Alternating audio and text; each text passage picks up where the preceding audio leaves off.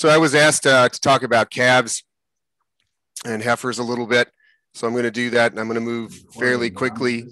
I will um, share my slides. Um, if they haven't been shared already, I will make sure that Dave has them so he can be, distribute them. And if you want a copy, just email me. My email is right there, mev1 at Cornell. Okay. And uh, I'll get my slides moving forward here. So little introduction, goals and objectives. Talk about nutrient requirements related to weaning, weaning and starter intake and composition, and I'm going to talk a little bit about slowing the process down. And um, again, in a 45 minute talk, I can't give context to all this stuff. What I'll say right now is I think we've been working on this weaning thing for a long time. We want to blame high levels of milk and milk replacer intake for the problem. And I think the real problem is not that. I think the problem is we don't put the right starter in front of the calf and we, we want to go too fast. All right, rumen development takes time and we've been wanting this kind of rapid system but maybe we need to change the nutrient supply to them.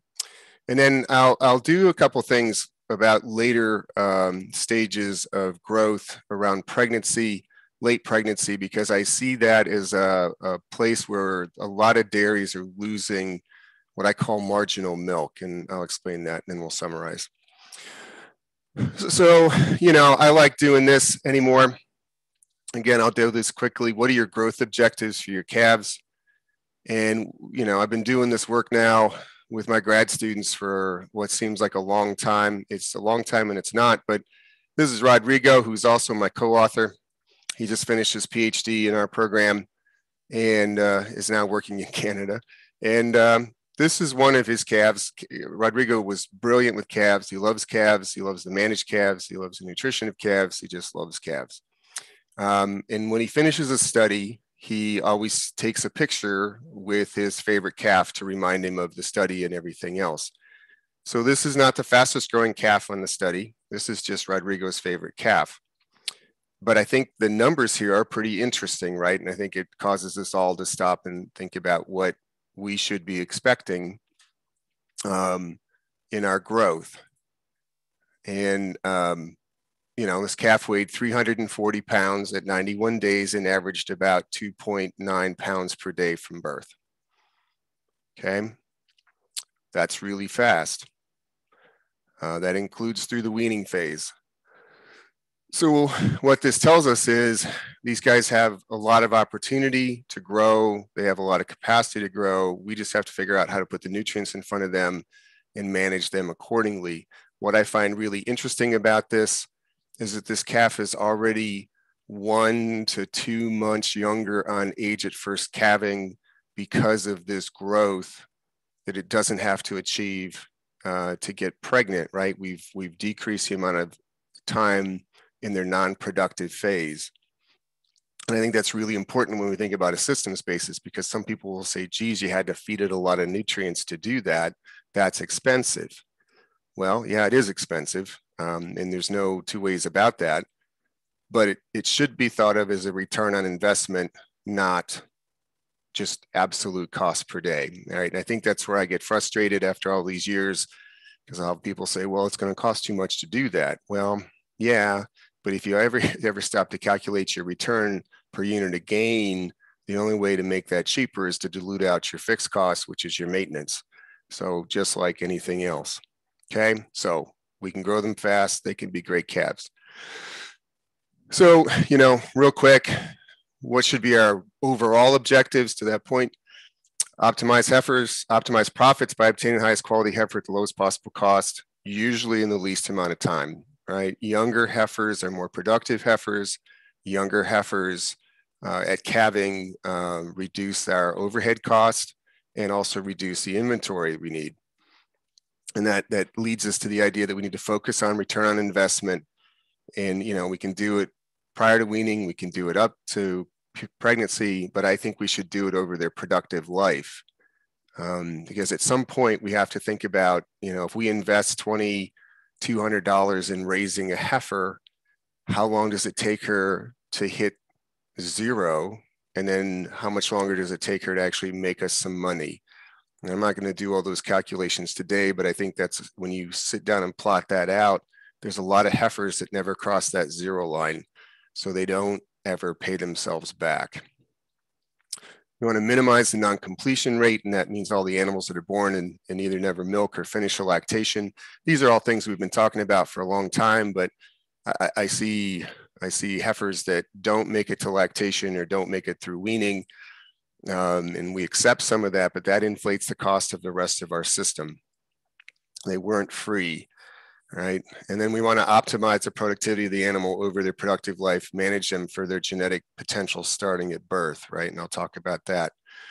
So, so genetic potential, right? And this is, um, I threw these slides in uh, based on some other things that I've been doing. And, and again, it's, it's not entirely out of context today because Corwin's going to touch on some of this. But uh, a few years ago, you know, I, we, you know, we had for years we had Bob Everett here who would help all of us think through genetics and productivity. And Bob and I would spend a lot of time talking about genetic potential and what turns it on and what doesn't, and how much is innate and how much, you know, nature versus nurture, right?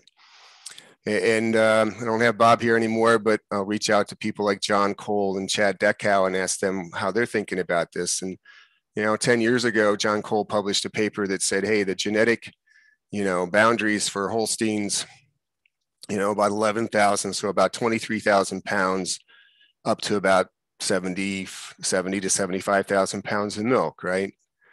Um, and, and these were our boundaries in 2010. Jerseys are, are there, you know, not quite about half on the upper bounds. Lower bounds, you know, we, we got a lot of animals out doing that by a lot. The question is, is how many have the potential to hit this upper bounds? Well, then we get into these discussions, and again, I reached out to Chad Dechow because he was his per, his perspective on this is a little bit different, but we're both going the same direction. What are the limits, right? So there's aftershock and gold, awesome cows, you know, 70, you know, 35,000 kilos um, in the lactation. So, you know, just over 70,000 pounds, both of them just over 70,000 pounds in the record breaking lactations. Pretty good sized cows but if you look at their PTA and EBVs, their estimated breeding values, they're not remarkable cows, right? They're okay cows, but they're not remarkable cows. And I think the question is, is who told them it was okay to make that much milk? When were they told it was okay to make that much milk? You know, when in their life did it only occur around lactation, or did it does it get set up at other times? And Bob and I used to spend a lot of time on that and we did at least one study where it, you know, it clearly demonstrated that nurture was three times greater at affecting milk chains, milk milk differences or milk responses than than nature, right? So in other words, nurture beat genetics. And that plays into our management. When do you know if heifers are born with this high capacity, does our management maintain that? Or are the detractors that take away from that? And that detractor could be respiratory right that we have to treat with antibiotics and now we start to damage lungs or they just don't feel good so they don't eat they don't grow as well which means you know we don't get that that early life response. There's all sorts of things right that that play into this. But I think it's important to recognize that they're born with a certain genetic capacity, but we've learned that we can modify that through our management. All right, so when I show you that calf that Rodrigo was hanging on to there and taking the picture of, that calf, you know, everything about that calf's life up until that point should have reinforced and enhanced her genetic capacity, right? Because we're we're trying to help her grow as well as she can. And I think that's part of these outcomes. We just haven't quite figured out what it is, but I think it comes down to some of our management. All right, so we've got these, these Holsteins with a genetic capacity for about 75,000 pounds. We have cows in herds in central New York that are peaking around 200 pounds, right? So they're in that 44 to 46,000 pound range, really good cows, right? We don't hear about them because they're just, they just make a lot of milk and they keep going. Um, but, you know, are they capable of that 75,000 pounds? Maybe. Bob would have said yes. And, um, I, I still think that way. The question is, is how many cows and what do we need to do to tell them it's okay to turn that on, right? Or not detract from it. And, um, you know, that's the, to the leads to this slide, you know, what, what detractors prevent them from realizing their genetic capacity? When do they occur? You know, how did they grow? Did they ever get sick? Did we give them all the nutrients they needed? Were they in a good climate? Right. And You can think about heat stress. Florida heifers, Florida calves that were heat stressed in the last trimester never go as well. Um, were they in a good uterine environment? Right. There's all sorts of things that play into this, but it's it's not their DNA, it's how the DNA is told to behave, right? I think there's a lot of management involved in that, and it starts. Uh, we know now it starts before birth, but we can really enhance it after they're born. Right. That leads us to these uh, these objectives. Now, you know, so what are we going to do? Well, we want to double this. None of this has changed, folks. We want to double the body weight um, at, at weaning, birth to weaning.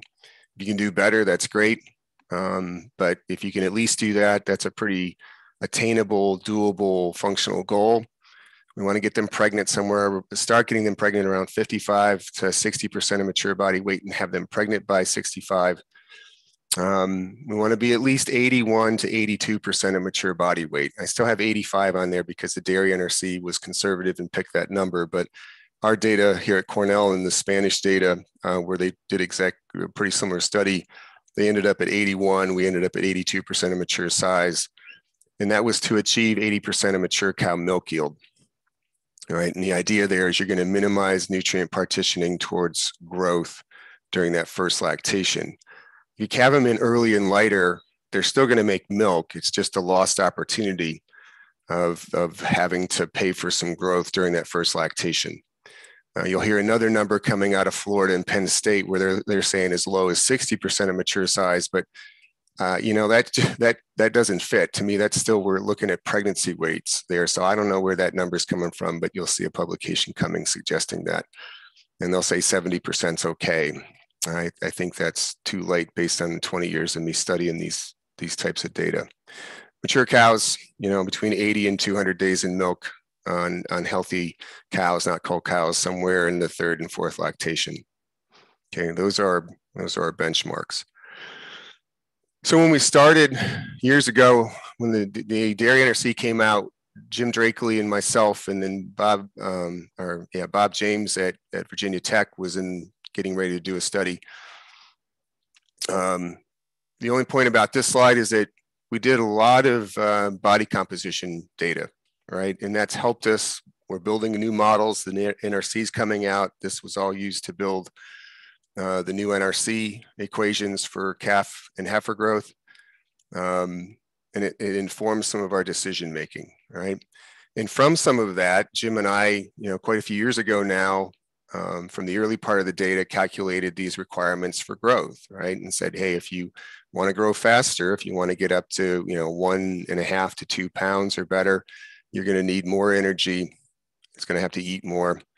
You need more protein. And it can't be the same amount of protein. You can't feed a 20 20 and get them to grow faster because they're still going to be out of balance on energy and protein. You do have to physically uh, blend in more protein along with the energy to get the to be able to meet the growth rates, right? And you'll see what that looks like here in a minute. All right. So this is for the, the milk or milk replacer fed calf, right? And those crude proteins are similar to mom's milk on a dry matter basis, right? So if we look at tissue, right, here's retained energy, right? And this sounds really complicated. Let's just say this is the amount of energy in a kilogram or in 2.2 pounds of body weight gain, right? And we got this from, from all of that body composition data. And you can see that you know, pr- prior to weaning, it's about 2.3 mcals. And we put them through the weaning process and that energy drops. And then right after weaning, it comes back up, right? And you say, okay, why did it drop? Did we do that? Did we cause a problem? Is this decrease in tissue energy a problem because of our diet and our weaning process? Or is this calf trying, are these calves trying to tell us something and inform us about maybe what their nutrient requirements should look like through this phase. Right, because you can see that once we get them through the weaning phase, they continue to increase in the energy content per unit of gain, and that's to be expected because as you get older, anybody who's gotten older, we get a little fatter as we get older, and the same thing with a calf and a heifer. So that means the energy content of the gain goes up. Well, you got to think about what tissues are being developed here right? Well, what are we going to develop? We're going to develop those things. Those are rumens. We're going to develop a gastrointestinal tract. So then you have to ask the question, well, what's this tissue look like? There's not a lot of fat there. They're, they're, they're muscular mucosal tissue, right? It takes a lot of protein. Takes a lot of energy to build that protein, but it takes a lot of protein, right? So it kind of makes sense maybe that the energy content of the tissue decreases through that weaning phase because a lot of nutrients are being partitioned to the gastrointestinal tract. Sounds really complicated, I know, but that informs our decision making process because then we get into the question of well, what does that look like when we break it out into protein and fat? And sure enough, fat's down here, and you can see that during the pre-weaning phase, fat deposition is 140 to 150 grams a day. And then during the weaning phase, it drops down to about 110. And then it increases post weaning back up to about 150 and continues to increase. Well, if you're thinking about what kind of tissue you're making, this makes sense because we're growing a gastrointestinal tract. That gastrointestinal tract doesn't have a lot of fat. It does contain a lot of protein. Well, that leads to another observation.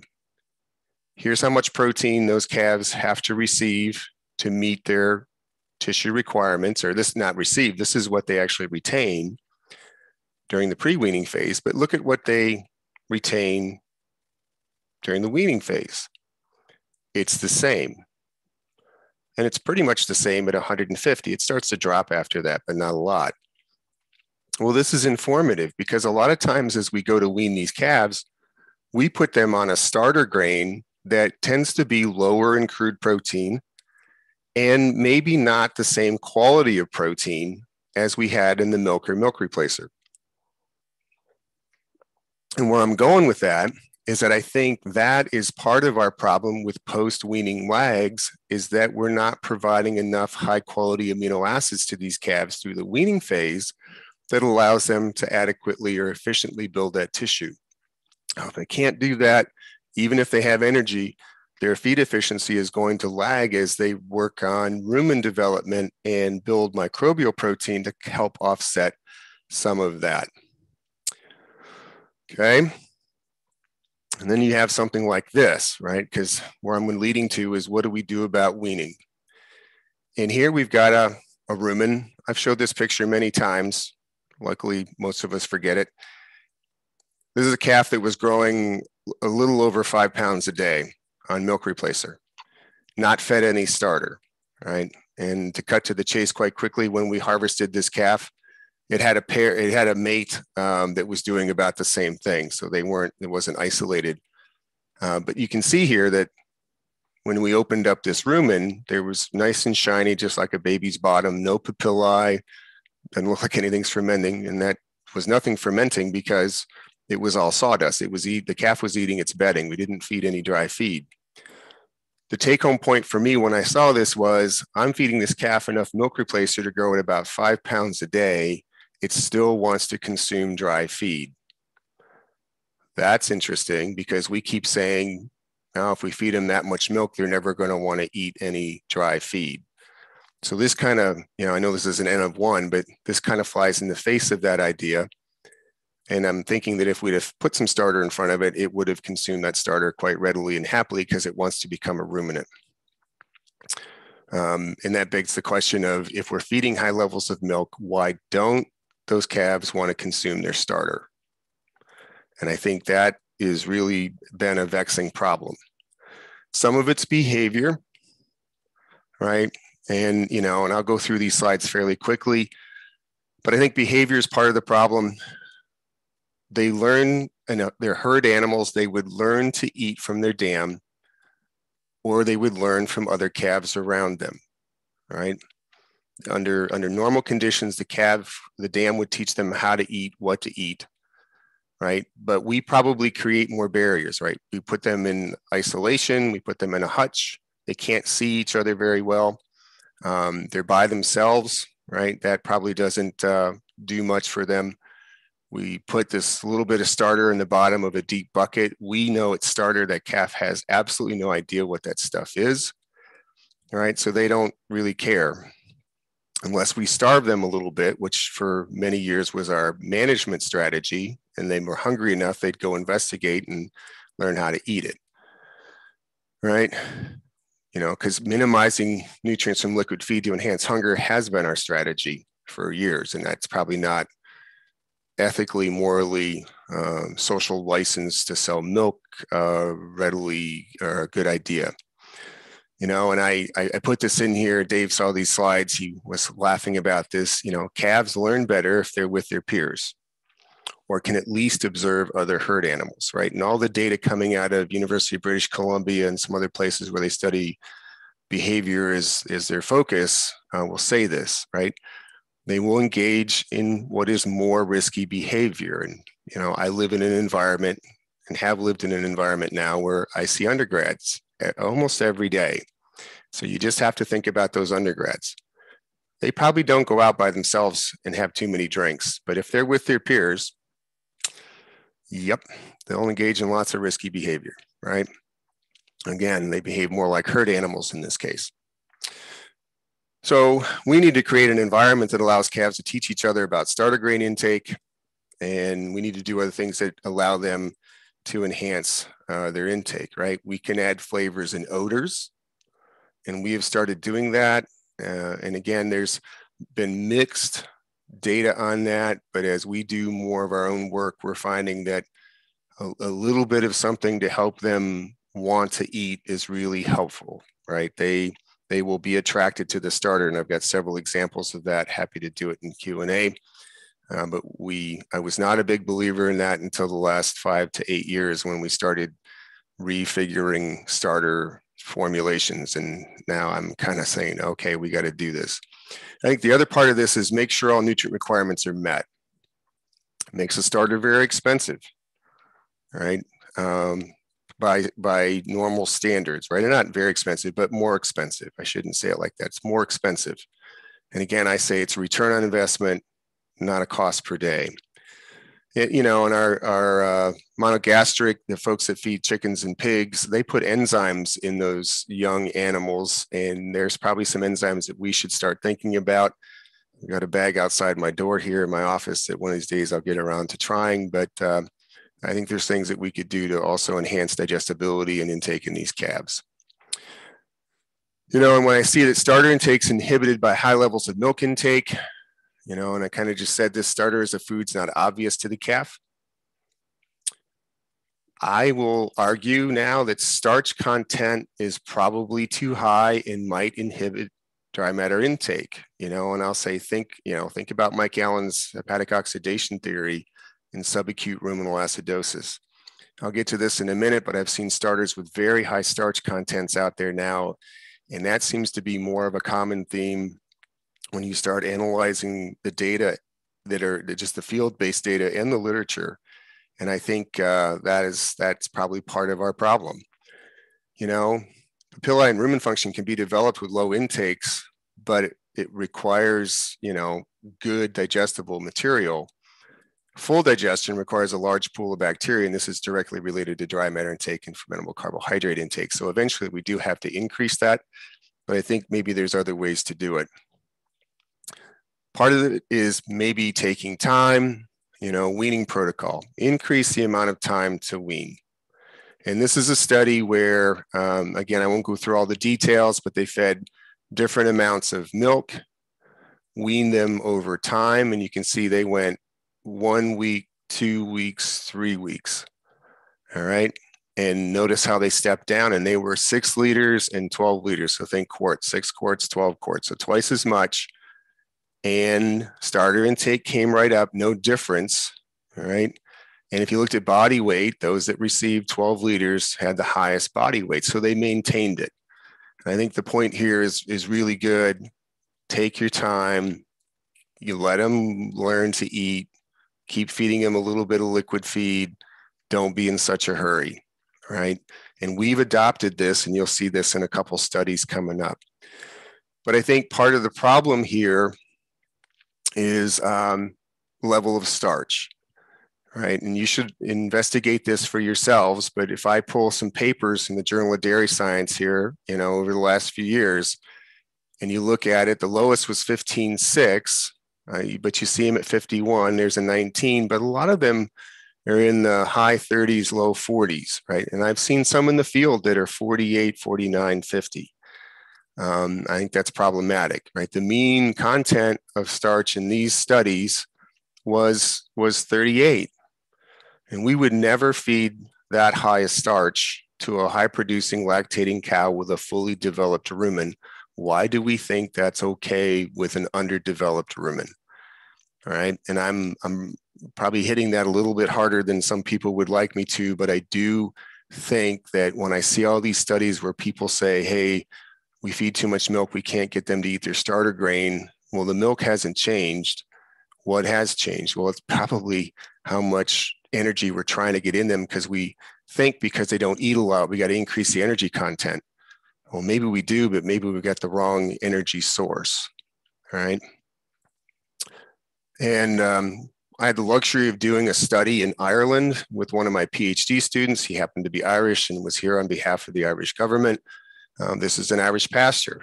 You know, kind of looks like our lawns if we don't mow them for a couple weeks. You know, perennial ryegrass, three-leaf stage. Um, the point here is that under natural conditions, we would have this.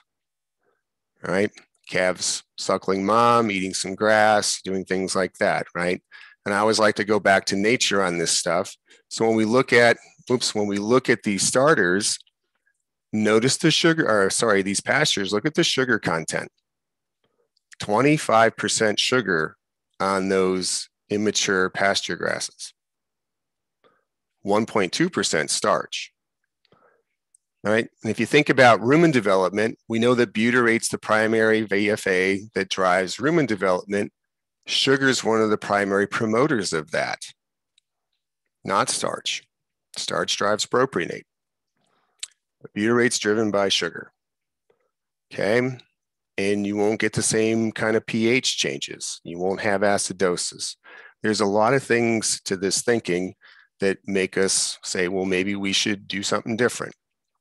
So here's the uh, here's the starter nutrient content.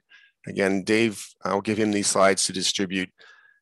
We balanced for all essential amino acids. We ended up just over 25% crude protein. I wasn't looking at protein, I was looking at amino acids.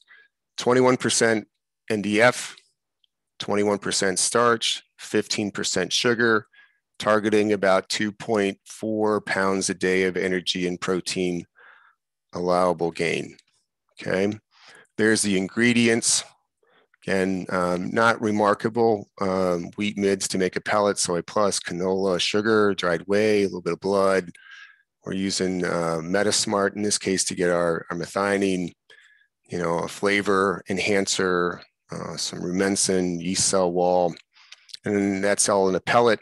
And then beet pulp shreds on externally to get some digestible fiber and some soluble fiber and a little bit of flake corn you could put the corn in the pellet if you wanted to. We just, I like texturized feeds as long as they're put together well. All right. We ran a couple studies. I'm not going to give you all the details of the studies just to show you that we ran a, a B vitamin study. Our calves overall averaged 2.2 pounds a day. They averaged just over four pounds of dry matter intake. They averaged a feed efficiency over 0.5, right? And this includes the weaning. Okay, and if we look at dry matter intake, we were at 2.9 pounds per day of milk replacer intake allowed. This is kind of what they consumed, right? And then you can see one, two, three weeks we took to drop them off. And in this weaning phase, we started at seven weeks. You can see in the first week, you know, we were up to about 1.5, 1.8 and by weaning, we're up to 4.4 pounds. Notice how fast that came up, right? Pulled the milk down, they came up. It took time. And then, you know, a couple weeks later, we're at seven to eight pounds of starter intake. And there's enough NDF there to allow for chewing and rumination. If you look at their growth rates, we were about 2.4 pounds a day. They did drop to 1.7 but nobody went into negative energy balance, right? And a week later, they're up, you know, from nine weeks, eight to nine weeks, and then 10 weeks, we're back up to over 2.4 pounds. And we settled in at three pounds a day, average daily gain post weaning. All right. And I'm showing you that because that's kind of how the formulated, uh, the starter was formulated. Higher protein, we're meeting amino acids. We're also providing different forms of energy, bringing the starch down, bringing the sugar up, providing some NDF. We see nice responses. When we look at this data compared to some data coming out of uh, Europe, where they say, hey, we can't feed high levels of milk because we're going to have a crash, right? Well, you don't have to. I think it depends on what the starter looks like and, and what kind of nutrients we put in front of them. I think that's really important. And we've kind of ignored that. Starter formulation is, is kind of been low cost, inexpensive ingredients. You know, we'll keep the protein up there, but we're not going to spend a lot of time on it. And I think that's probably partly what's causing us problems, right? Because if you, we can feed more milk replacer, we can get higher growth, we can wean them effectively. We don't see this big uh, negative energy balance and they come out of it doing great right? And I think that's the point here is that we have to start thinking differently. These guys are actually advocating chopping straw and putting it in all our starters. Well, when you stop, when me as a nutritionist, I think about that and say, well, the straw's no good, it has no energy. Why are we doing that? Well, one reason to do that is to dilute out the starch, right? Just, just drop the starch. All right, we ran another study evaluating amino acids uh, all methionine, you know, we looked at HMBI, HMTBA, and rumen protected methionine compared to control. This is a picture of the starter. All right, same kind of formulation. In this case, we were using uh, vanilla from Adisseo, but still the beet pulp, some flake corn, a little bit of molasses to keep the, the dust down, right? But the same kind of um, same kind of ingredients, a little whey, a little blood meal, we have a European formula without the blood meal and the animal proteins uh, that we can share if somebody would want that. And again, we, we end up, you know, around 25% protein, NDF around 21, starch around 20, sugars in that 15%, and soluble fiber actually quite high thanks to the, uh, thanks to the, the beet pulp, right? And ME is about the same. And it's, it's the same kind of response. We find this really fascinating. Milk replacer comes up, and then we take three weeks to, to knock it down, and the starter comes right up, right? And if we look at our starter intake, we're only looking at about a quarter of a pound pre-weaning, but because of all that sugar, that's plenty to get good rumen function. Through the weaning period, it comes up nicely. We're at 1.8 pounds. And immediately post weaning, you know, we're averaging almost seven pounds of intake. So I, this tells me that maybe we need to modify our starters. Maybe we need to take a little bit more time in the weaning process and that we can have good weaning and not have post weaning slump and not have to pull out the AS 700 to overcome uh, all of our respiratory disorders that occur uh, through that transition phase from pre weaning to weaning. All right. And the same kind of thing, if we look at the average daily gains up, down, up, right? We still, we would like to get rid of this little drop here. We'd like to flatten it out. We're going to figure out how to do that, hopefully. But if you look at the average daily gains, 2.2, 1.7, 2.9. So these girls are doing pretty well, right? And we we are happy with this. Again, we'd like to do better. I'd like to keep this closer to two through this weaning period. And one of these days we'll figure out how to do it okay? Doubling the birth weight, you know, by seven weeks and tripling the birth weight by 13 weeks. That's kind of where we've been, uh, at least with our research. We're not doing that on a herd basis yet, but we're not really trying that hard at the moment. Okay. I've got some slides here about the feeding program. I got a lot of words. I'm going to make sure that these are shared with all of you because um, I don't want to take the time to go through all of this detail. Uh, if we were in a room having a conversation, I would probably do it, but just to read off my slides, I think is uh, is a little bit defeating right now in the interest of time and all of that. But um, it's there. Again, I'll make sure it gets shared with you. So just to close out this calf part, um, calves have more growth potential than we're allowing them to realize, right? We've known that for a long time. Um, but I think as we get more information about requirements and weaning efficiency, we're learning that we can do even better. Weaning management needs to evolve to allow for good rumen development prior to milk yield, or trying to prior to milk removal. Sorry. Um, you know, and I, I think uh, it's just really time. You know, right right now, I think if we just took our time, did it a, a little more patience with uh, this process, that we wouldn't have some of the train wrecks that we have post weaning, right? But I do think while we're doing that, we probably have to evolve our our uh, starter formulation to to meet the tissue requirements, encourage feed intake, and promote growth, right? Because intake is ultimately going to be our friend in this. But I think to make that all happen, the, the nutrient profile probably has to change a little bit and that's going to cost a little bit more, right? Uh, but if you're buying AS 700 and you're treating with high, expensive antibiotics for respiratory, that maybe that should be turned into a little bit more time, a little better feed, things like that, right?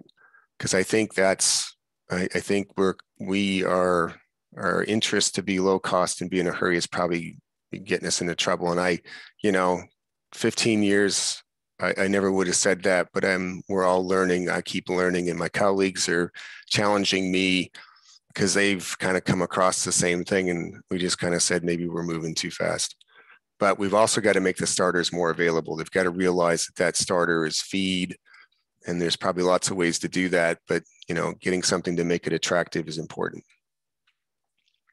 So I'll spend the last few minutes here on post weaning factors that I think are out there um, and detract from milk production.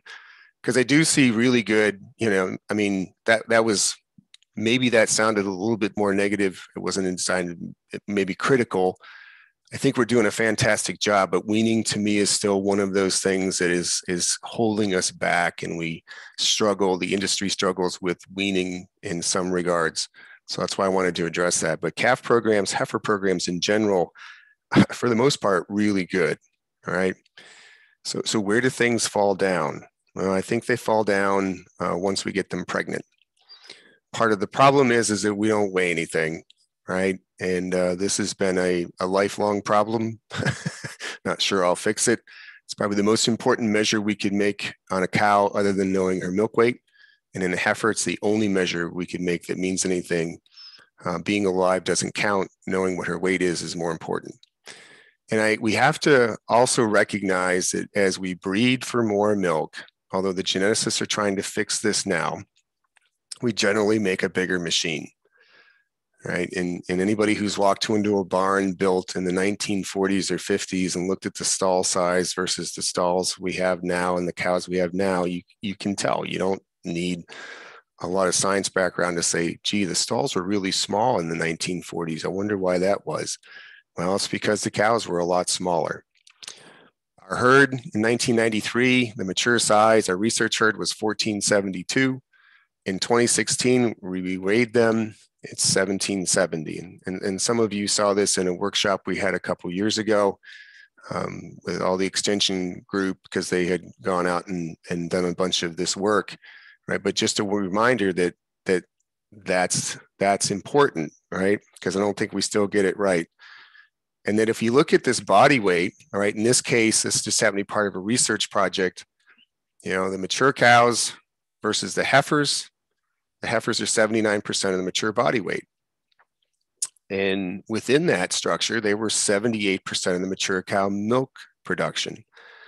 And having looked at this for 20 years, I can tell you that if I know the mature size and what weight they're coming in, relative to the mature size post calving, I can pretty much tell you how they're going to be milked because it's all within a unit or two of that mature size. Because if they're lighter, they're going to be partitioning more nutrients towards growth, and that growth value is pretty well understood.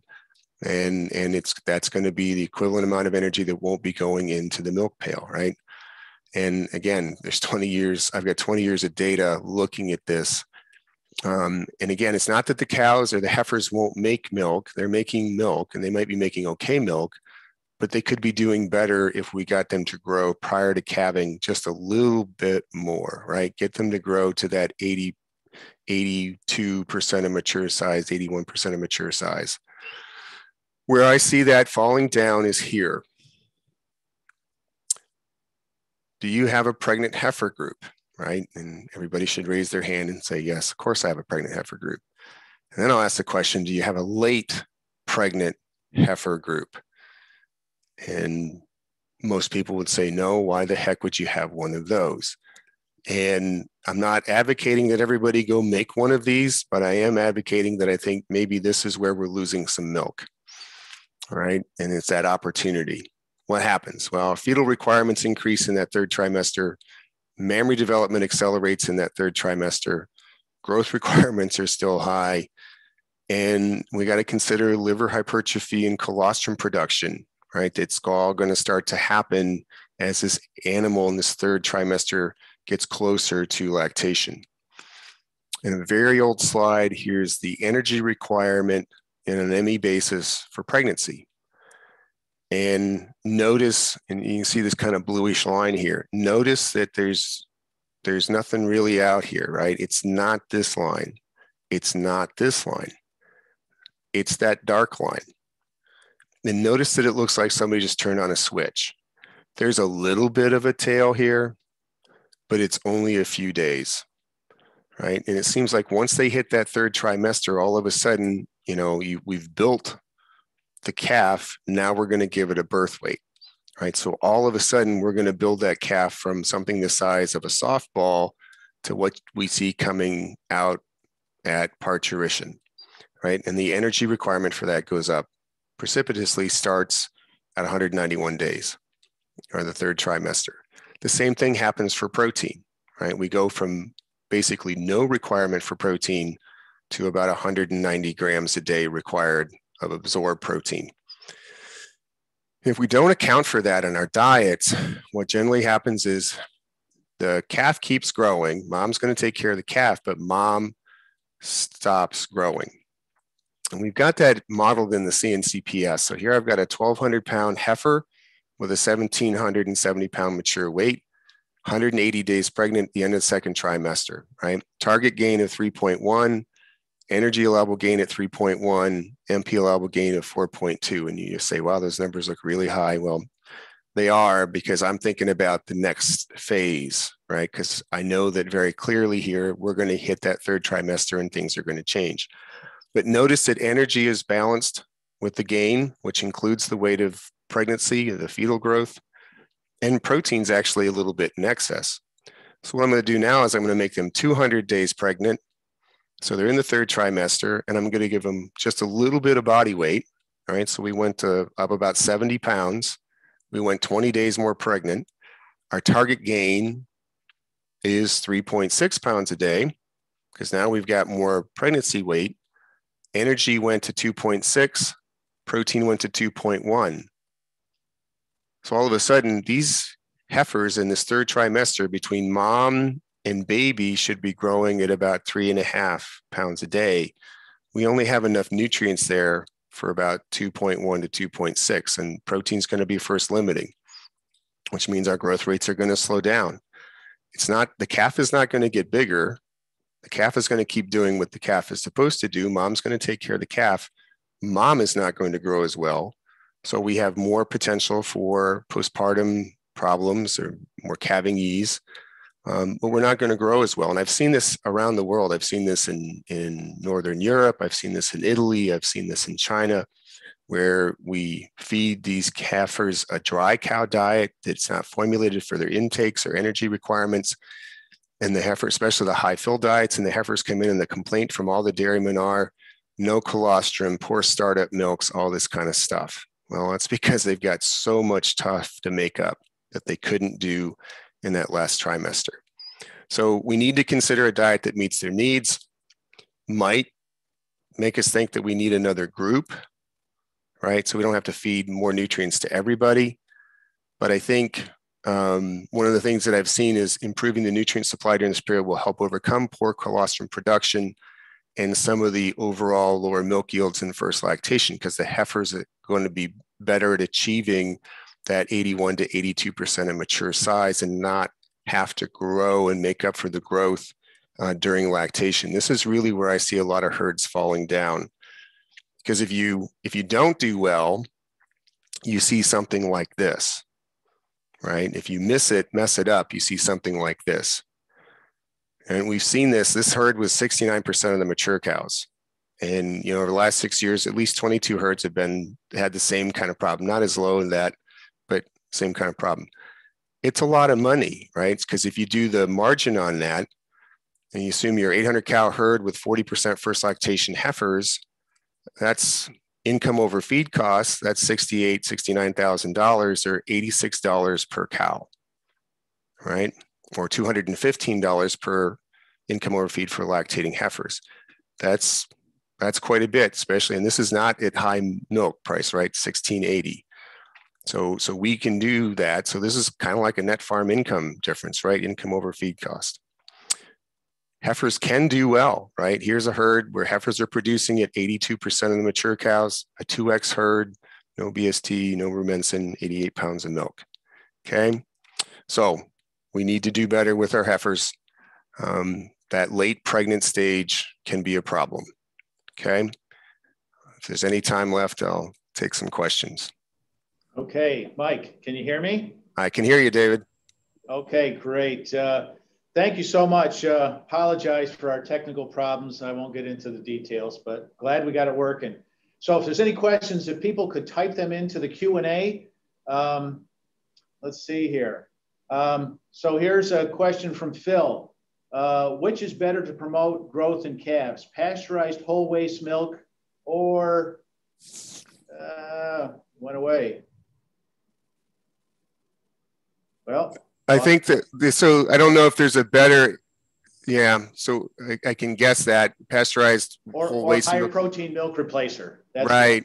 I think you. I think the my my answer to that is you just need to understand what nutrients you're putting into them and make sure if that you standardize the nutrients. Pasteurized waste milk is almost always going to be higher in fat. So in terms of the energy content, it's always going to contain more energy than the milk replacer.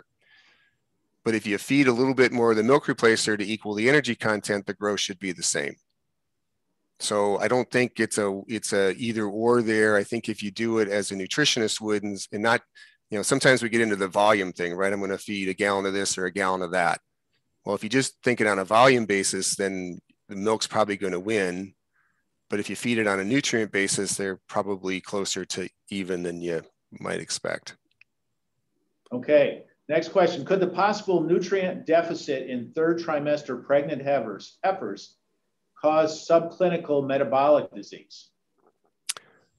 That's a really good question and one that I'd like to research. I think it does. I think it does because some of those heifers I've seen I've seen some heifer I've seen a lot of heifers on these, you know, the Goldilocks high fill diets. Man, they're they're protein deficient, you know, MP limited by two, three, four hundred grams. It's some I've seen some really severe cases they didn't make any colostrum. They they're not ready to go, and they got to get into lactation. And all of a sudden, you know, they're then they got a high metabolic demand to make milk. Those heifers have been at odds with a lot of things. So yes, I think it's possible. These heifers are so resilient. This is my observation. It just seems that we we just tend to suffer in milk production in early lactation, which is right showed there basically. Yeah. Right, but they could they could if if things are not right, they they could be sick. I've seen some oh, sick yeah. heifers, and it's hard to explain why. And but you got to go back to that early period. Yeah. Okay. Thank you very much, Mike. I think we're going to stop. I know you've got to connect with your folks from Canada. um, anyway, uh, tremendous uh, amount of great information, some real food for thought from a standpoint of a uh, a uh, like a pre-fresh uh, first calf heifer group uh, and the benefits that may be able to be gained from there. So um, again, thanks very much. Sure. What we're going to do? What we're going to do Corwin. Now, okay. No Mike. what we're going to do now is we're going to uh, show uh, slides run through because we're a little bit late here of all of our sponsors, and we certainly appreciate um, all of their support. And then uh, I'll introduce Corwin, and uh, he'll kick it off with uh, this whole question of older cows making more milk and making more money. Okay, thank you. And Eric Smith is uh, connected. He is our field crop specialist who is connected in another location. And let's see if he can get the slide set going here so we can give our sponsors the recognition that they deserve. There we go.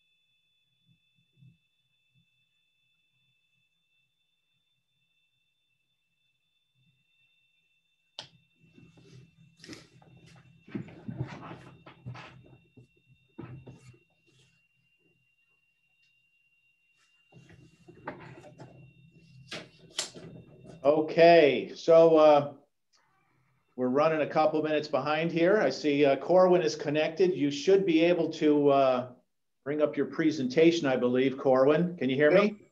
Yeah, okay. uh, second here. So, uh, so very quickly, uh, many of you probably know Corwin Holtz. He's uh, uh, a principal in uh, the Holtz Nelson uh, Dairy Consultant Group. Uh, he resides in uh, Dryden. Uh, he's been a Cornell mainstay for many years in his earlier career. In fact, I see Cornell up on the wall there behind him, above that picture of some cows or heifers. So anyway, uh, I will make it just brief and leave it at that. Uh, he's got a group of great group of folks that he works with on nutrition and uh, dairy management consulting, um, not only in New York, but in the Northeast, um, spilling over into Vermont and New England. Is it coming up? Yep. There we go. Okay, have it on your end there, David? Um, not yet. Um, hold on.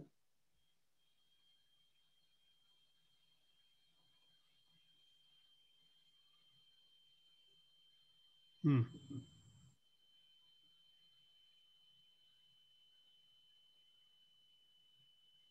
Eric, can you hear me? You probably can. All right. Yeah, uh, Corwin, so you shared your, um, did you share the presentation itself? I thought I had here just a second. You might have to go up to the top um, where it has your screen share. There might be some options or maybe your, your view uh, at the top might have uh, display settings. You see that anywhere? Uh, boy. Let me get out of.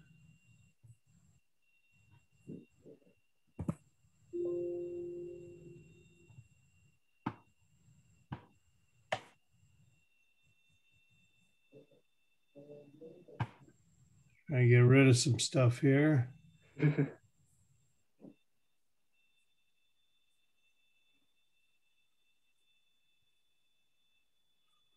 Okay, we're going to try to share again here. Can you see my screen at all? Oh, here we go. Yep, now we see it. It's coming up. There we go. We got it. Perfect. We got it. Super. All right. Thanks so very much for the help there. Sorry about that. We're good. All right. You should be able to take it away right now. All right, Dave. Thank you.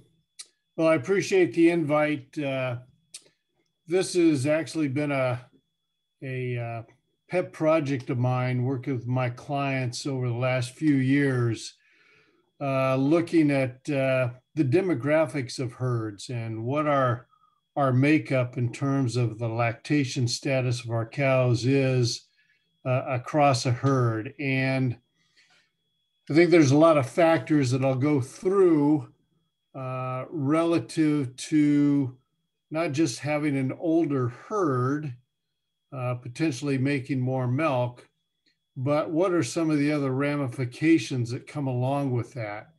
And I think they are all tied together.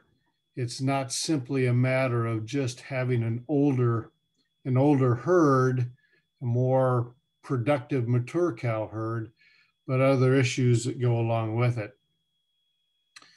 So my challenge today is to, to get you to think uh, a little bit about, uh, are you actively managing the age of your herd? Um, and I'm going to talk quite a bit about cull rate. Uh, I'm going to talk about quite a bit about uh, what the heifer herd size is that you're dealing with and how those really impact what the average age and lactation number of a herd uh, might be. And then tying that into are we milking the most profitable cows we can? Uh, Mike talked a lot about cost of raising these heifers. I'm going to get into some of that. And we always have to remember that it takes that heifer uh, at least a full lactation, maybe a lactation and a half in many cases, to actually pay for her cost of rearing. So these mature cows are really, at the end of the day, the cows that are going to be the most profitable cows day in and day out uh, for any herd. The factors that, that I see influencing the, the age of a herd really boil down to just a few things. what's the cull rate of your herd, of your milking herd, and what does that look like from a voluntary versus involuntary cull rate, and also, you know, what what's the death rate in a herd, and then what's your heifer inventory, and those two are tied very very closely together. Now, the one thing that always needs to be kept in mind is that uh, we can have two different conversations about this topic if we're talking about a static size herd or if we're talking about a growing herd.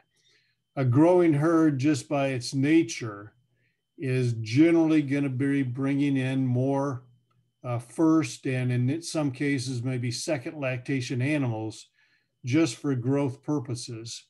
So, a lot of what I'm going to talk about today is really if you're in a static herd size situation, uh, what can this uh, culling and heifer inventory really mean in terms of what the herd demographics uh, look like and what that impact has on, on potential profitability uh, of the herd.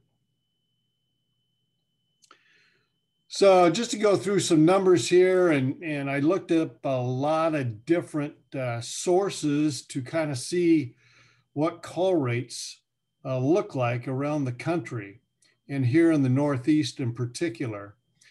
And it just doesn't seem to matter where I go to find data, whether it be uh, through USDA data from back in, as you see, in 2018, uh, total cull rate between uh, cows culled and, and cows that died, uh, 37.5%.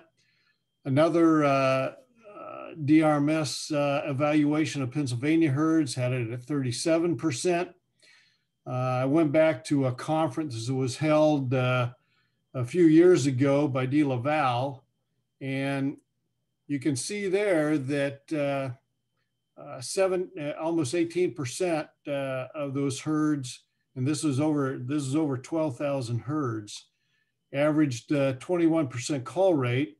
The vast majority of the herds in that study, uh, right at that 37, 38% cull rate. But an interesting uh, fact is that 11% of those herds are over averaging 55% cull rate, uh, which is really unfathomable to me. Uh, some other data I came across here recently, uh, some 2018-19 data here in the Northeast.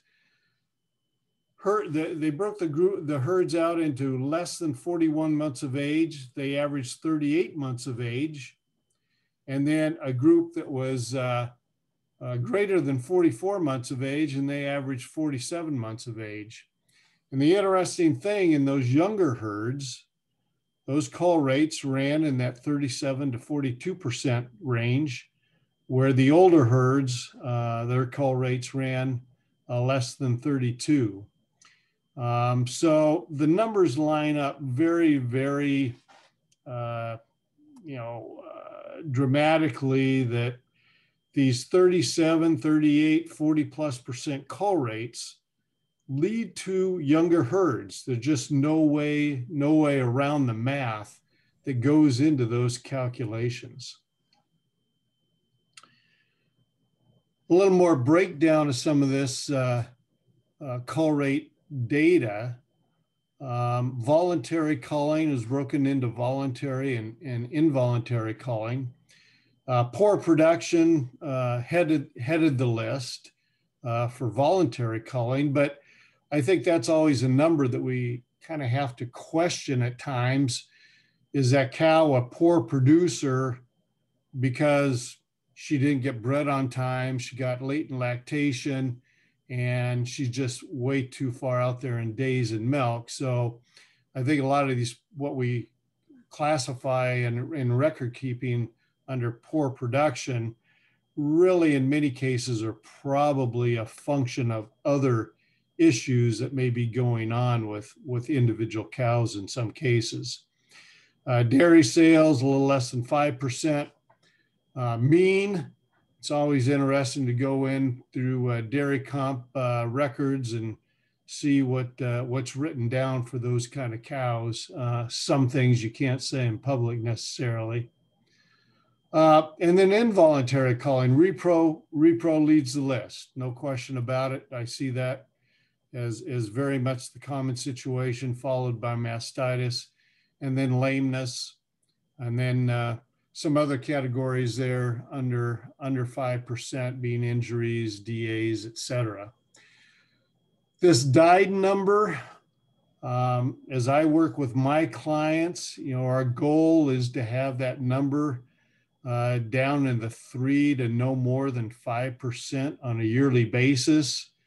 And talking to veterinarians, that 5% cutoff number is, is kind of where they uh, definitely want to have a, a top level number for, for percent died.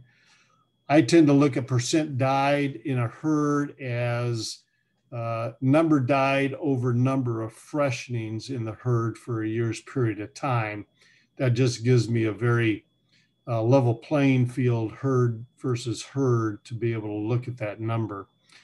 But I've definitely got some clients that are well under under 3%, some running uh, actually less than 2%. But that that 5 to 8 to 9% is a very, very common uh, died number that, that I see across the industry.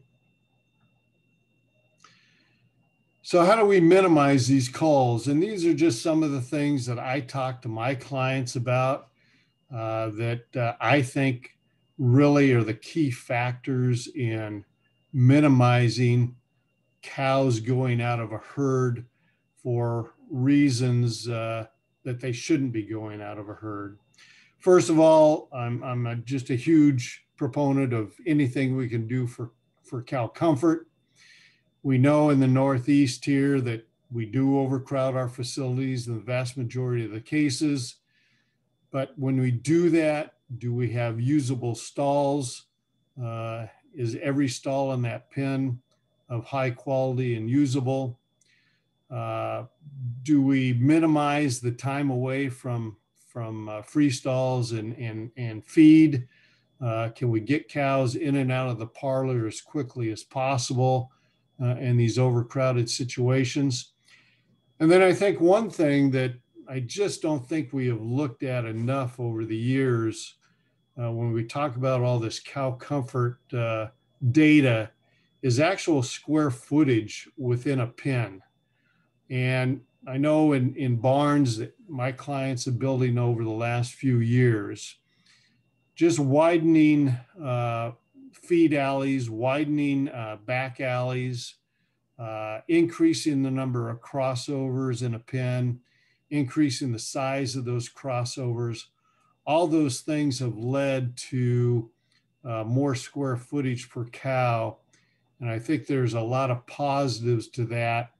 I can go into a, a, a pen of cows at 60 square feet per cow and feel very cramped, but I can walk in with the same percent of overcrowding in terms of cows to stalls into a pen just because the alleys are bigger, the crossovers are bigger, et cetera. And we might be up to 70 to 75 square feet per cow. And it's a whole different feeling in that pen relative to the overcrowding uh, feeling. Transition cow programs, Mike talked about this a little bit as far as the heifers go to me, that's where it all starts. Uh, you guys all know that. Uh, you deal with it day to day from a metabolic and startup milk standpoint. Uh, nutrition plays a key. Uh, cow comfort, overcrowding. If we're going to uh, any place in the in the system that we're going to undercrowd or not overcrowd, it's definitely in those pre-fresh and fresh cow pens. And then does that result in, in 60 day cull rates of, of less than 5%? And, and there are herds out there that are certainly down in that three to three to 4% on a regular basis. So it can be done. Milk quality, you know, not getting rid of cows because of mastitis, uh, keeping somatic cell count down, uh, daily clinical cases less than a percent and a half, uh, some herds running easily less than a percent. Repro, Can we run preg rates greater than 25%? Can we, and as a result of that, can we keep the herd at 150 to 170 70 days in milk on a regular basis? That's just going to minimize that percent of the herd that's low production, late lactation cows and minimize those heavy cows, potential heavy cows that got out there too far days in milk because of poor repro. And then we end up having potential problems when those cows calve back in uh, just because of excess body condition. And then, of course, foot health, and you're going to have uh, Charles talking about uh, that in another session of this meeting, uh, but just routine and proper trimming, foot bath protocols, and then what kind of surfaces are those cows traveling on day in and day out. So does that, does have, uh, changing subject here a little bit, we've gotten through the culling. Now to go to this whole discussion of heifers. And does heifer inventory influence culling and uh, herd age? And I, I propose that it very much does in a lot of in a lot of herds. And we in, in the industry have had a mentality of for many generations of we have to raise every heifer. And I really challenge my clients day in and day out is this the profitable thing to do in a static not growing herd. I propose that it's not a profitable thing to do, and we'll go through some numbers to uh, elucidate that a little bit more. But in general, if a barn can only handle so many cows, then if we've got heifers coming in or overcrowding becomes, you know, much more of a challenge, the older cows are the ones that go. That's just the way it happens. And again, those heifers coming in, they've still got a year, a year and a half to pay for themselves versus that mature cow that maybe gets pushed out uh, and, and, and shouldn't have to be pushed out just because we need the space for heifers coming in. I, I grant that in theory, uh, those heifers should be genetically superior, but again, do we need every last heifer uh, that potentially is born on the farm? And here in the Northeast, as many of you uh, are experiencing, and I know quite a few of my clients are, now we have these base production programs that uh, are really putting a, a, different dynamic on you know, how much milk we can ship out. Uh, should we make, be making that milk with the most uh, profitable cows in the herd. I think we should, and, and those are going to be the older population cows. So some heifer rearing costs, and many of you have, have seen this data. I think it, I, I sincerely believe it's real.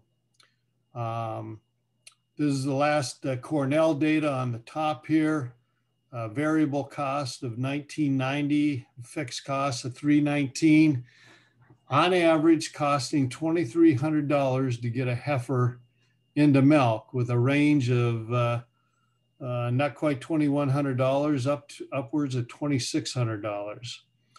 And I, I, looked around for some other data sets and uh, most recent one, some data out of University of Wisconsin, right there with the Cornell data, 2240 at 24 months of age.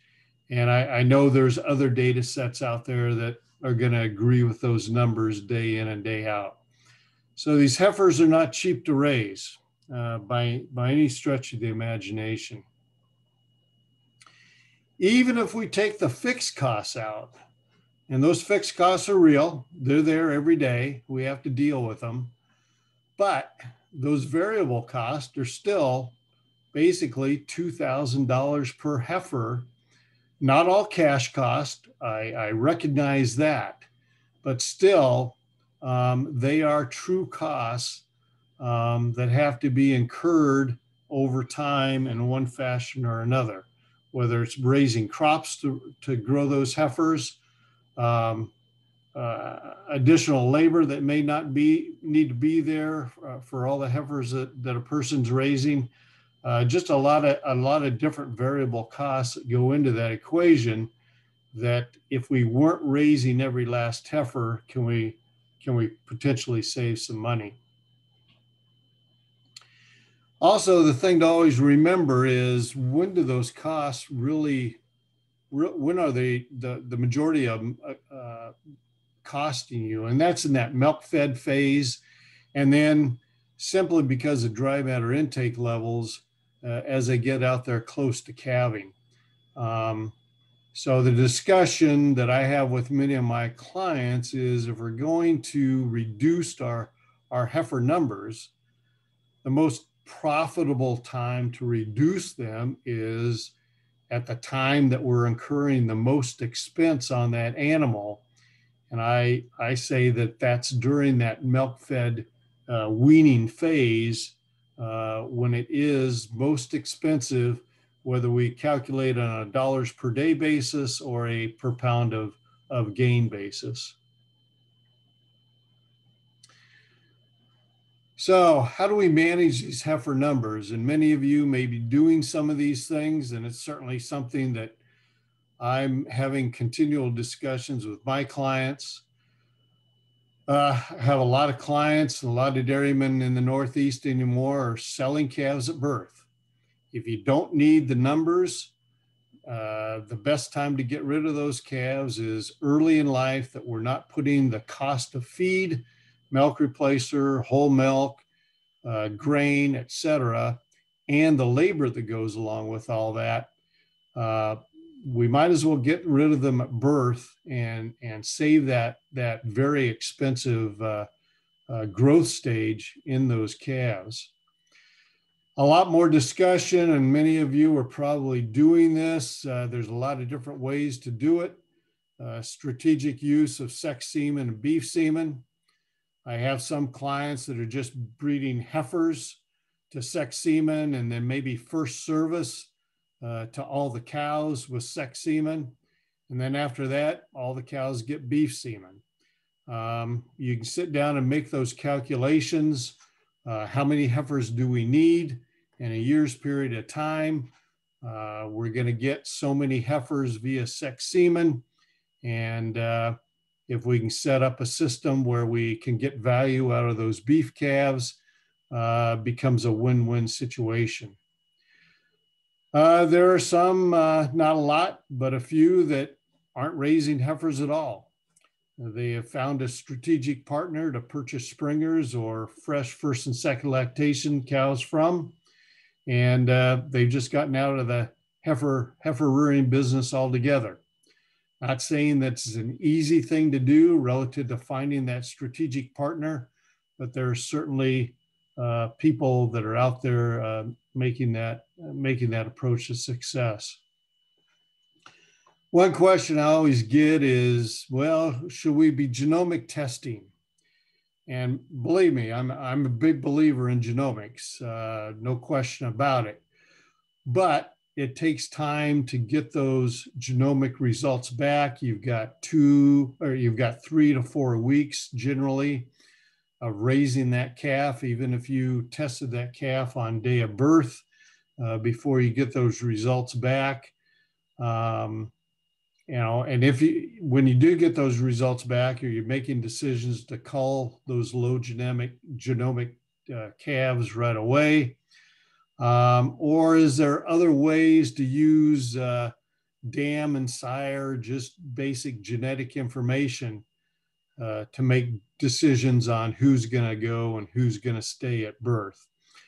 I don't have a single answer to that. Uh, like I say, there's there's different ways of doing it, and, and certainly uh, successful uh, across the board. But uh, something that you need to think about relative to how do you make decisions on which calves to, to keep and which calves to, to have go early in life. So raising heifers to me is more, uh, is more than just the cost. Uh, raising these excess heifers more than just the cost. If we're overcrowding our facilities, Uh, we're compromising heifer growth, we're compromising heifer health. I see this continually where heifer facilities are just, we think we're crowding our cows a lot. The heifer, heifers are crowded even more. Um, some recent Penn State data. Now, those calves, one to six months of age, uh, no pneumonia cases are one, one and a half times more likely to survive to 24 months.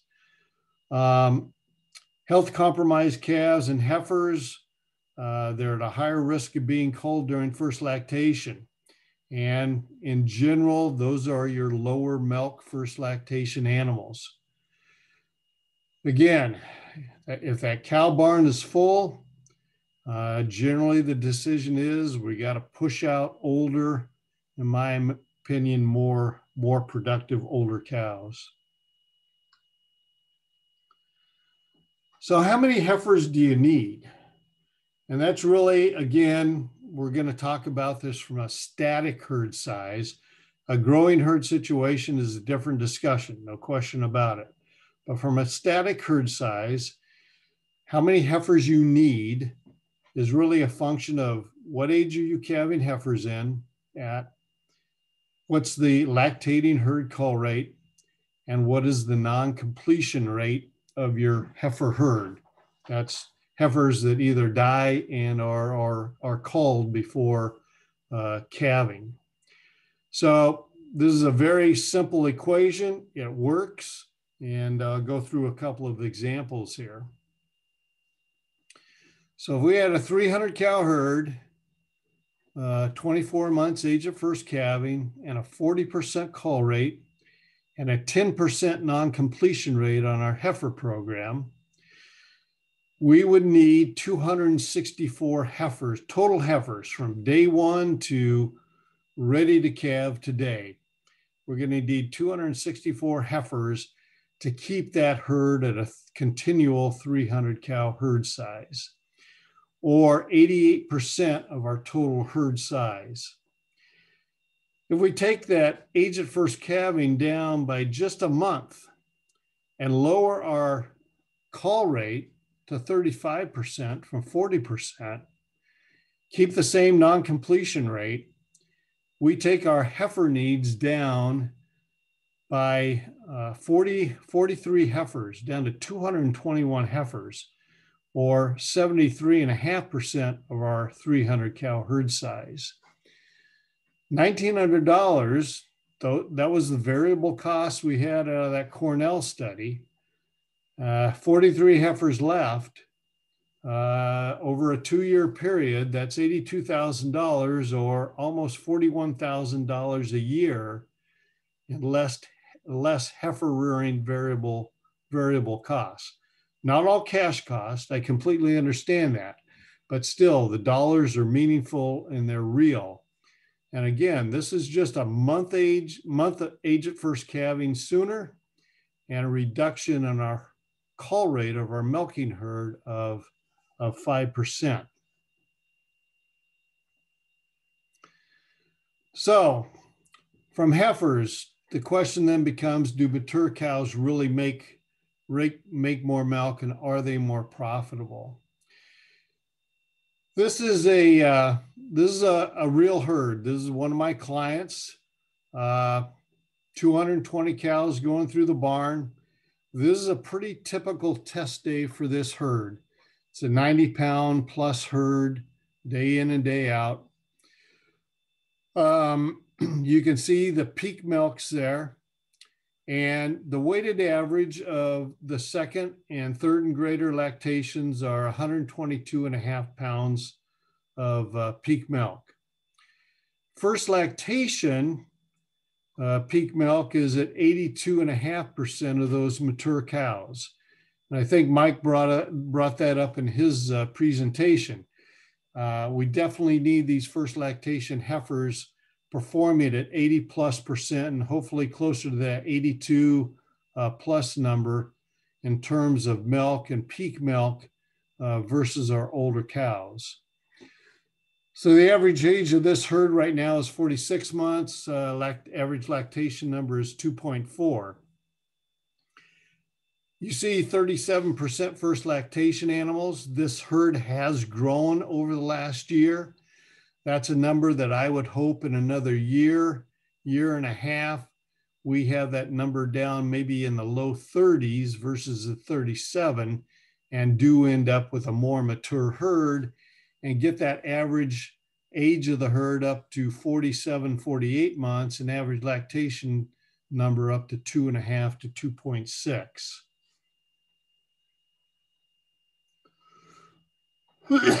Excuse me. Now, if we go back and look at literature, old literature, recent literature, all is the same. One pound of peak is 200 to 250 pounds of increased lactation yield. So in this previous in that, that previous slide, our mature cows were outdoing our first lactation animals by, by 21 pounds a peak so that's 4,200 pounds of additional lactation yield for those mature cows. So just a couple of scenarios here. If we have that 220 cow herd at 35% versus at 35% versus 40% first lactation animals, we've got 11 more mature cows in there or uh, uh, 46,000 pounds more milk per year or 4,6,200 weights. That's a, just shy of $8,000 of additional gross revenue just because we had more mature cows in the herd. If we went down to a 30% two year olds versus 40%, we've got 22 more mature cows in that herd. Milking the same number of cows, 220, but now we've got double that. We've got almost $15,800 of additional gross revenue. Again, just by not having uh, this young, young herd.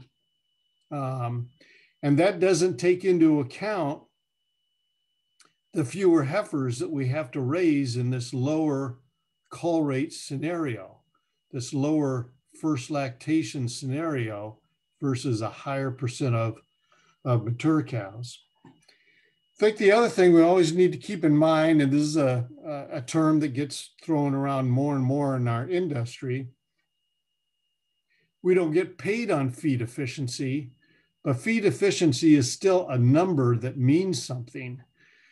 You know, how, how many pounds of energy corrected milk can, can a cow put out uh, for every pound of dry matter intake that she's uh, consuming. And we know that nutrients that are going to a first and second lactation animal, part of those nutrients are going, are going to growth, not all to milk like we will be having in a mature cow. So there's no question a younger herd is less efficient from a feed efficiency standpoint than a mature cow herd, simply because of the growth requirements of those younger animals relative to dry matter intake. Finish up here uh, with some numbers. This is uh, this came out of a study from uh, by Zoetis. This was a compilation of uh, about 90 herds uh, out in the Midwest over a 10 year period.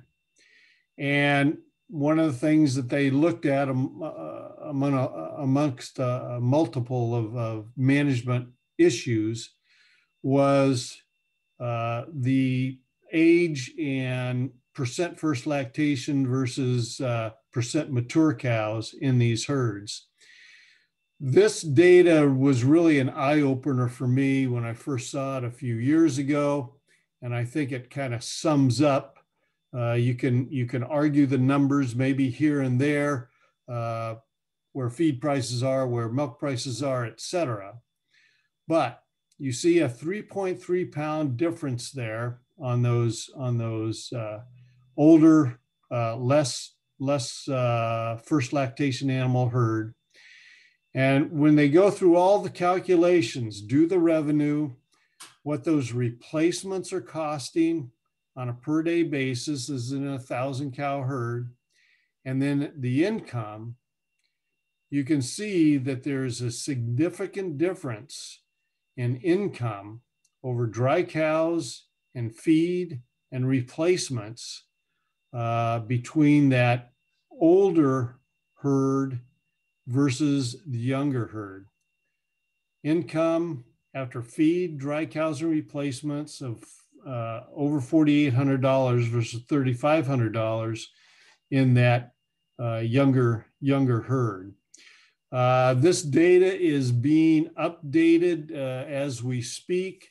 And as, as uh, the author there, Mike Lormore with Zoetis, he's actually going to be presenting this at the upcoming Herd Health and Nutrition Conference and going to be giving us an update on this, uh, on this study as they have continued to monitor uh, these, these 90 plus herds uh, over the last few years uh, from, from where this data set has uh, originally came from.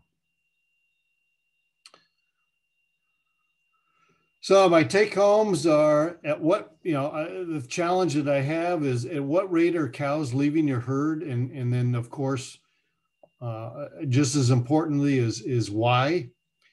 Uh, can facilities or management changes decrease uh, the, the profile of and, and why and what cows are being culled.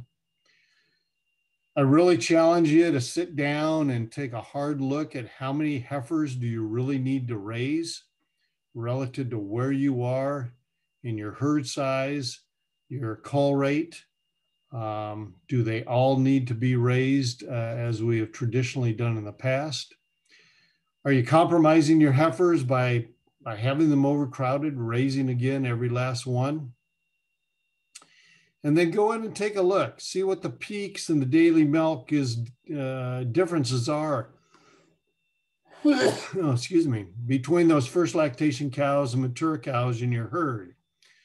And uh, when you add all that up, how can these differences in cull rate and needed and raised heifers and increased milk uh, have a potential impact on farm profitability. I know with the clients that I'm working with that are taking a hard look at these things, it's really been an eye opener for them. Got a lot of clients that, uh, you know, depending on herd size, uh, you know, we might have been raising 40, 40 calves a month and we know we only need 25 now and, and that's what we're raising. Uh, had another uh, a, a, client make the comment to the to me the other day. In his case, we did all the math. He's he's needing to raise 16 calves a month, and that's figuring a. Uh, I think we figured a 10% uh, non-completion rate for his heifer program. And this is in a 600 cow herd, so 16 calves a month. So the question was asked by somebody else. Well, you know, what if you only have 14 calves, you know, coming in or heifers coming in for a month? You know, you're too short. And and to me, in this day and age, my answer to that is very, very easy. My clients can go out and buy springers and or first and second lactation animals anywhere from $1,200 to $1,800 if they've got a slot that they need to fill, a hole that needs to be filled for whatever reasons, they can probably go out and buy an animal cheaper than what they could raise uh, that that last heifer for. So I think there are a lot of ways to look at this, but uh, I think it's an opportunity for many producers to uh, increase profitability by decreasing some of the expense that we have in high cull rates and raising more heifers than what we what we need. So with that, uh, be happy to ask any answer any questions, Dave. Uh, appreciate the opportunity. It gave me a good chance to sit down and put my thoughts together and uh, uh on something that I really feel has opportunity for a lot of producers. Thank you. Okay, Corwin, thank you very, very much. Uh, if people got questions, uh, please type them into Q&A. Uh, while we're waiting to see if there's any questions here, I just want to let you know that when we conclude, you're going to have an evaluation questionnaire that's going to pop up. Uh, please take a minute to, uh, to fill that out. believe it or not, we do read those. We value that uh, information and it helps us to, to plan in the future. Um, I guess while we're seeing if there's any questions here, I guess I'd make the comment uh, when I looked at your list, Corwin, of, uh, of the reasons these cows uh, leaving the herd, um, with the exception of mastitis, which we had some, some of that topic covered last year at our Dairy Day program, um, having hoof care and foot health uh, on the program on Thursday, I think uh, hits the mark. I see that as a big issue for, for a lot of herds uh, dealing with lameness and uh, problems with hoof care.